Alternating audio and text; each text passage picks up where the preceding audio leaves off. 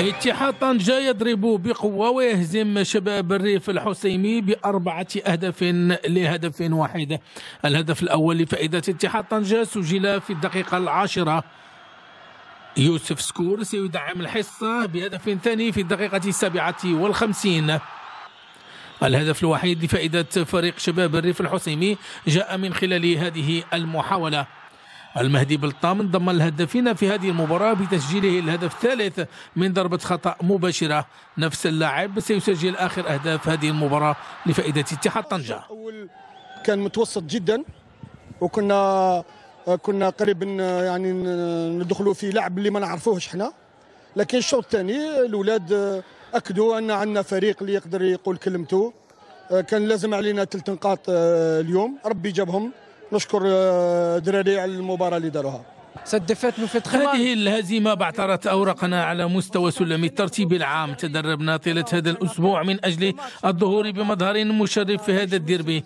انهزمنا بأخطاء قاتلة. أتمنى أن نعود سريعا لسكة الانتصارات.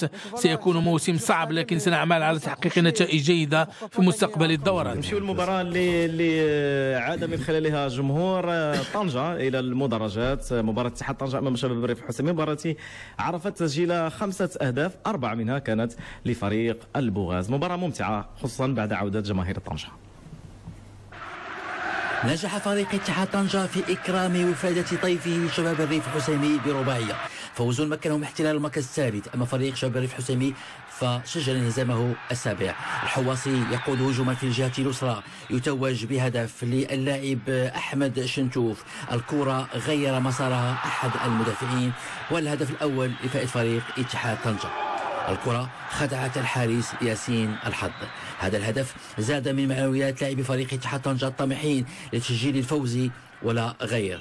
فريق شباب الريف حسيمي تتاح له فرصة لتسجيل هدف التعادل لكن يوسف بن علي يسدد عاليا نفس اللاعب يتجاوز هنا الدفاع وينفرد بالحارس أمسيف لكن التسديدة كانت ضعيفة. لينتهي الشوط الأول بتقدم اتحاد طنجة بهدف مقابل لا شيء. في الجولة الثانية. ركنية تنفذ الكرة يستقبلها يوسف سكور والهدف الثاني لاتحاد طنجة. هدف بعثر أوراق شباب الريف الحسيمي في الدقيقة الثالثة والستين هجوم سريع شباب الريف الحسيمي يتوج بهدف لعبد الرحيم مقران. هدف جميل. للاعب عبد الرحيم مقران. فريق اتحاد طنجة سيحرز هنا على ضربة خطأ بعد الدخول يوسف اليوسفي ضربة خطأ كلف تنفيذها المهدي بلطام. قوة في تسديد لم تترك أي حظ للحارس ياسين الحظ.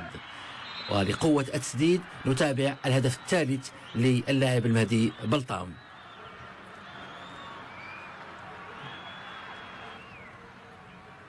في الجهة اليمنى. الحواصي يسلم كرة للمهدي بلطام الذي يتفنن في رفع الكرة وهدف جميل لإتحاد طنجة وهو الهدف الرابع. هدف المهدي بلطام اعتبر من بين أجمل أهداف هذه الدورة. نستمع لبطل هذه المباراة المهدي بلطام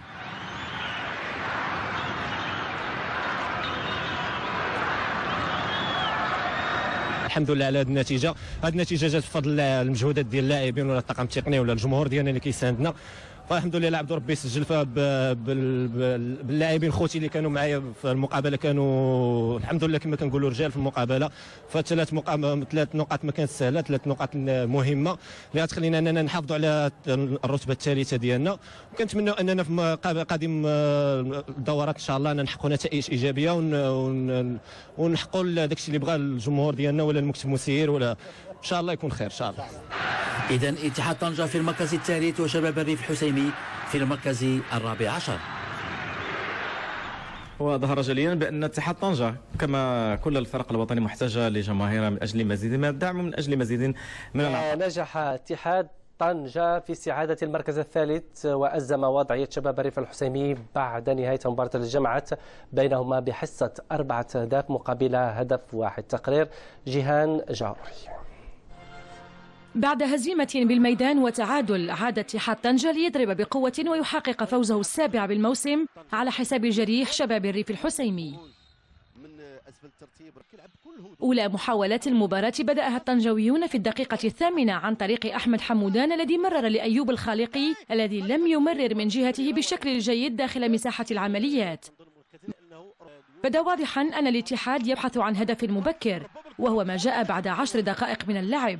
الحواصي تمكن من الحفاظ على كرته لوقت طويل. لتصل بذلك إلى أحمد شنتوف صاحب التسديدة المفاجئة التي ترجمت إلى هدف افتتاح الحصة. انتظرنا لحدود الدقيقة العشرين لمعاينة أبرز فرصة لشباب الريف بكرة ممتازة من فوزي وعمار لكن يوسف بن علي افتقد للمسة الأخيرة وكرته فوق مرمى الحارس أمسيف بن علي عاد لتضييع فرصة أخرى بعد أن قام بكل شيء إلا التسديد الجيد. بعد الاستراحة البداية كانت للحسيميين عن طريق مقران أمام المرمى إلا أن كرته تمر جانبية. بعدها صعود لأسامة الغريب من الجهة اليسرى لمحاولة مضاعفة النتيجة لكن تمريرته كانت سهلة لدفاع الشباب. ومضاعفة الحصة ستبدأ في الدقيقة التاسعة والخمسين بركنية من عبد الغني معاوي لتنتهي بالمرمى بعد هدف يوسف سكور. هنا أحس الضيوف بالخطر وبادروا إلى ردة فعل جاءت بهدف صفقت له جماهير الاتحاد بعد تمريرة جيدة استقبلها عبد الرحيم مقران وحول وجهتها إلى الشباك. هدف جعل الطاقم الحسيمي يطمح في العودة في النتيجة خلال باقي الدقائق. لم يكن ذلك ممكنا بعد ضربة الخطأ هاته التي كان وراءها المهدي بلطام وأصبحت النتيجة ثلاثية لهدف في الدقيقة الثانية والسبعين. رغم ذلك لم يستسلم الزوار وجواد إيسن كاد هنا أن يقلص الفارق بكرة كانت بعيدة بقليل عن القائم الأيمن لأمسيف اقتربت المباراة من نهايتها وأعلن عن الوقت الإضافي الذي شهد رابع وآخر أهداف اتحاد طنجة عن طريق بلطام بطريقة فنية مسجلا ثنائيته في المواجهة. فالحمد لله العودة ديال الجماهير الطنجاوية الحمد لله عطاتنا واحد التحفيز. يعني المباريات اللي فاتت لعبنا بدون جمهور يعني كانت المباراه المباريات يعني ضيعنا فيها النقاط. فالحمد لله هذه الانطلاقة ديالنا إن شاء الله. بقى لنا مباراة أمام الجيش. إن شاء الله باش نمشيو لمدينة الرباط باش نحققوا نتيجة إيجابية إن شاء الله. إيجابية لكن ما تعكسش آه، المباراة اللي درناها. الشوط الأول كان متوسط جدا وكنا آه، كنا قريب يعني ندخلوا في لعب اللي ما نعرفوهش إحنا لكن الشوط الثاني الاولاد أكدوا أن عندنا فريق اللي يقدر يقول كلمته. آه، كان لازم علينا ثلاث نقاط آه، اليوم. ربي جابهم. نشكر آه، دراري على المباراة اللي دار رباعية لهدف جعلت اتحاد طنجة أحد المستفيدين من الدورة. كيف لا؟ والفريق انفرد بالمركز الثالث على بعد أربع نقاط فقط من الصدارة. خمسة أهداف أربعة لفريق نبيل فريق اتحاد طنجة يعني عودة الجمهور كان فأل خير على الفريق وبالتالي فريق حصد ثلاثة نقاط أمام فريق شباب الريف الحسيمي وبحصة كبيرة أربعة أهداف مقابل آه، هدف واحد والسعادة المركز آه، الثالث. آه، فريق اتحاد طنجة فتوقعته بجمهوره بالخصوص داخل الميدان ديالو لأنه كيتوفر على ملعب جميل. الجماهير ديالو حتى هي كتساند لأن لو أنك تشوف الأجواء اللي كتكون داخل الملعب هناك فهذا الشيء كيحفز اللاعب على أنه باش يقوم بمباراه باش يضاعف حتى المجهود ديالو.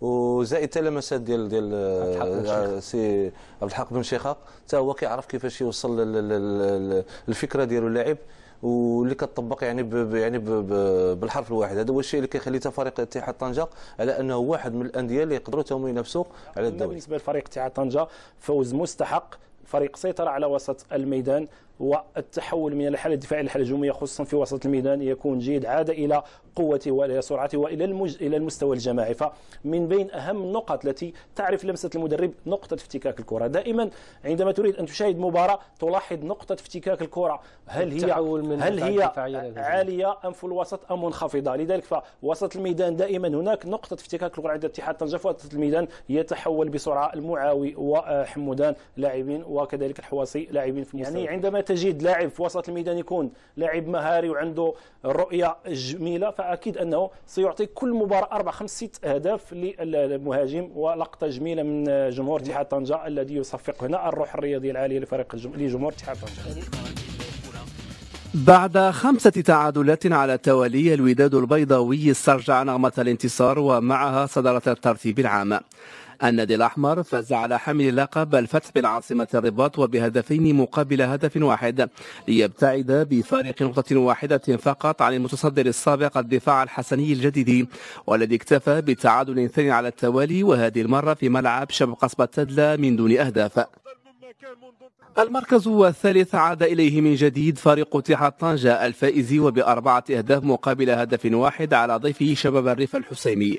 في الوقت الذي تراجع فيه رجاء البيضاوي المركز الرابع بعد تعادله المخيب للآمال مع الجيش الملكي بهدف لمثله مقابل آه، فريق اتحاد طنجة اللي كيحتل الرتبة الثالثة آه، يعني فاز فوز عريض الواحد على فريق شباب الريف الحسيمي في آه، يعني مباراة لقاء جديد مع الجماهير بعد غياب الجماهير لمدة أسابيع من بعد ما كان يعني محكوم على فريق اتحاد طنجة إجراء آه، يعني مباريات ديالو بدون جمهور آه، بدر الدين. يمكن آه، إجراء الاتحاد طنجة لمبارياته بدون جمهور كانت عنده تداعيات سلبية على مؤدى الفريق وعلى نتائجه أيضا الشيء اللي ربما عطل الانطلاقة ديالو الجيدة اللي كانت اللي تسمت بها بداية البطولة. اذا مع عودة هذه الجماهير كان من الضروري على أن فريق اتحاد طنجة يعاود يعاود البحث على الانتصار. وأعتقد أننا اليوم حقق الفوز بحصة عريضة جدا على فريق شباب الحسيمة اللي حقيقه في اعتقادي قدم إفلاس كبير على مستوى المنظومة الدفاعية لأن كل الأهداف التي سجلت في مرمى آه، يسير الحظ كانت عبارة عن أخطاء ربما بعضها كان بدائيا على مستوى التنظيم الدفاعي. الشيء الذي يؤشر مثلا فيما آه، فريق اتحاد طنجة يسير بخطى ثابتة نحو تحقيق الأهداف لأنه هو يقول على انه هذا الموسم سينافس على لقب نعم. البطولة ويريد أن يؤمن أكبر عدد من النقاط قبل الدخول آه، في منافسة كأس الاتحاد